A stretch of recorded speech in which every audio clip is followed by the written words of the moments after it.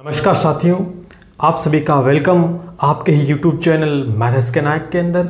और आज स्टडी के अलावा थोड़ी सी मैं अलग आपको जानकारी दूँगा 2000 चुनाव से रिलेटेड ठीक है?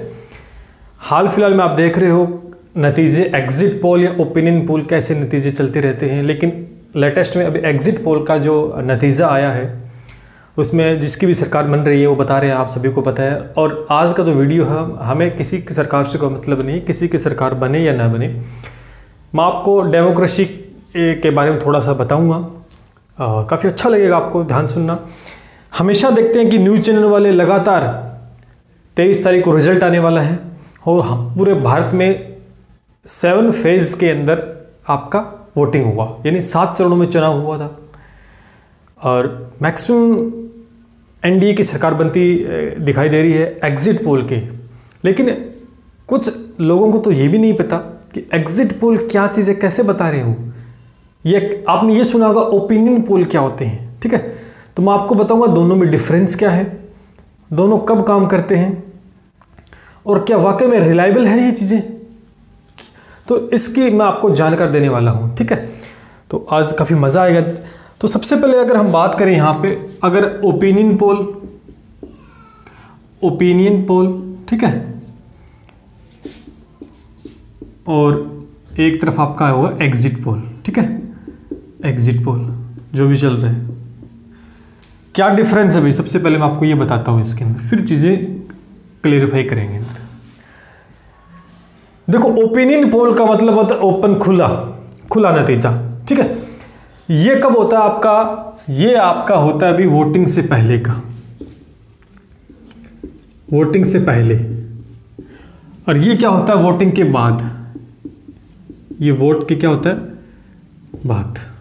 यानी जब वोटिंग नहीं होती, उससे पहले आपने देखोगा न्यूज़, जितने भी न्यूज़ चैनल हैं, चाहे आज तक है, चाहे इंडिया टीवी है, न्यूज़ 24 है, या रिपब्लिक है, जितने भी न्यूज़ चैनल है, वो सारे ये दिखा रहे हैं, एग्जिट पोल के बारे में बार बार बताते जा रहे हैं। उन्नीस तारीख को जब कंप्लीट हो गया था अपना वोटिंग, उसके बाद में एग्जिट पोल के नतीजे आए थे।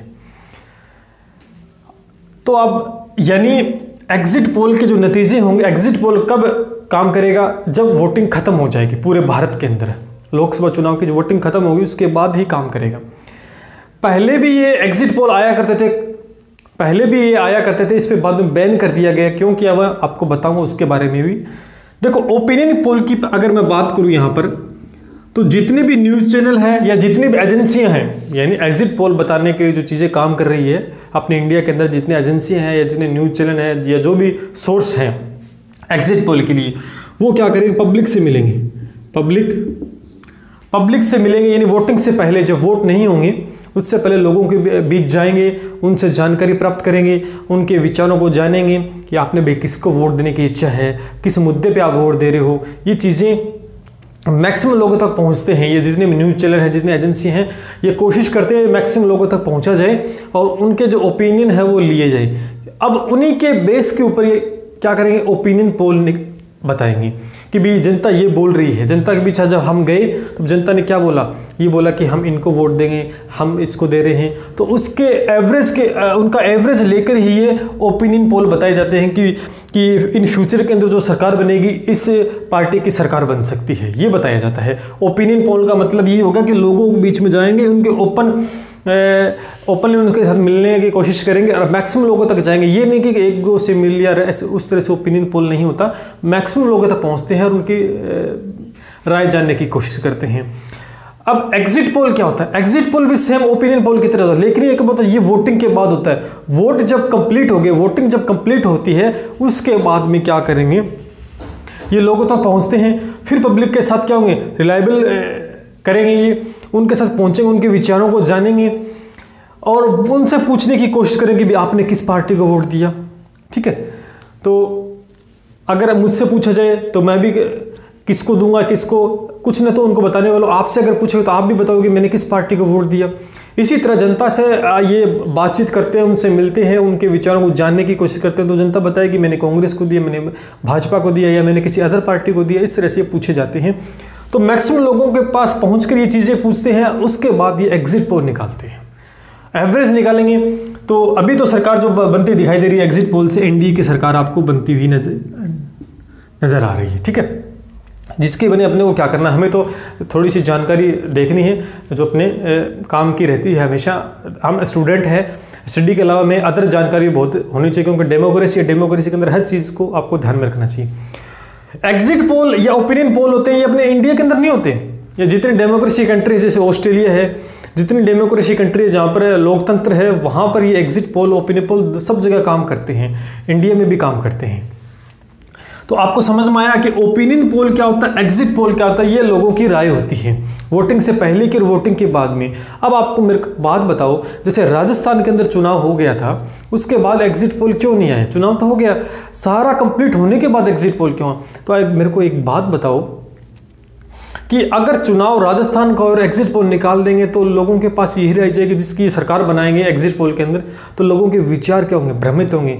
तो निर्वाचन आयोग ने इस पर बैन कर दिया एग्जिट पोल के ऊपर की कहा एग्जिट पोल के जो नतीजे हैं, आप कंप्लीटली जब सारे चरणों के चुनाव खत्म हो जाएँगे, तभी आप निकालोगे। इससे क्या डिफेक्ट इससे नुकसान होता है पार्टी वाइज को? क्यों? क्योंकि राजस्थान में किसकी सरकार दिखा रहे हैं तो लोग उनको देखकर ही वोट डाल देते हैं कई बार तो। ओपिनियन पोल आप ले सकते हो पहले। ओपिनियन पोल पे कोई रोक टोक नहीं, पहले होंगे। लेकिन एग्जिट पोल के नतीजे हमेशा ही चुनाव जितने फ़ेज़ में होता है, जैसे सात चरणों में अपना चुनाव हुआ इंडिया के अंदर तो कंप्लीट करवा के एग्जिट पोल के नतीजे बताए जाते हैं। तो आपको समझ में आया एग्जिट पोल ओपिनियन पोल क्या है? अब इनकी सच्चाई की बात करते हैं कि कितने इसके अंदर सच्चाई है। देखो यूरोपियन जो कंट्री है, वहाँ पे भी ये अपने एग्जिट पोल ओपिनियन पोल लेकिन वहाँ पर ये लगभग लगभग देखें तो ये कामयाब है। क्यों? क्योंकि वहाँ पर पॉपुलेशन क्या है? बिल्कुल कम है।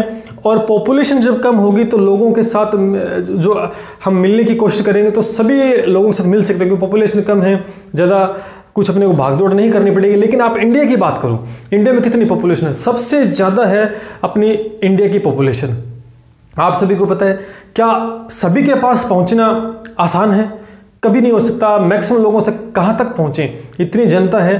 तो होता क्या है अक्सर कि लिमिटेड लोगों के पास ये जाया जाएगा। कोशिश तो करते हैं, लेकिन इतने लोगों के पास नहीं पहुँचा जा सकता। तो लिमिटेड पब्लिक के पास ही ये पहुँचते हैं और उनसे राय जानते हैं।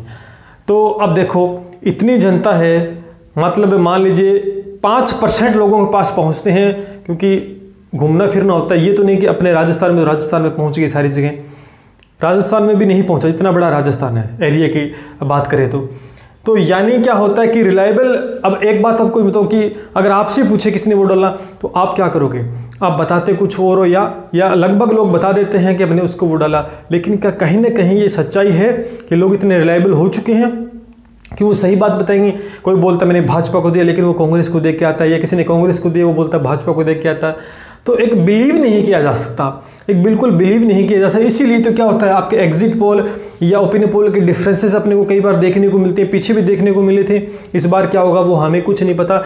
तेईस तारीख को फाइनली जो एग्जिट पोल है या ओपिनियन पोल है वो जब फेल हो जाएँगे, कब? जब आपके रिज़ल्ट आएँगे। क्योंकि वहाँ पर अगर ओपिनियन पोल की बात जो बोल रहे वो होगी तो सच बढ़िया बात है। या एग्जिट पोल की भी सच हो सकती है, झूठ दोनों भी हो सकती है, लेकिन जो फाइनल रिज़ल्ट अपने को तभी मिलेगा भैया, जब तेईस तारीख को रिज़ल्ट आ जाएँगे। तो मेरे कहने का मतलब डेमोक्रेसी है अपने भारत के अंदर।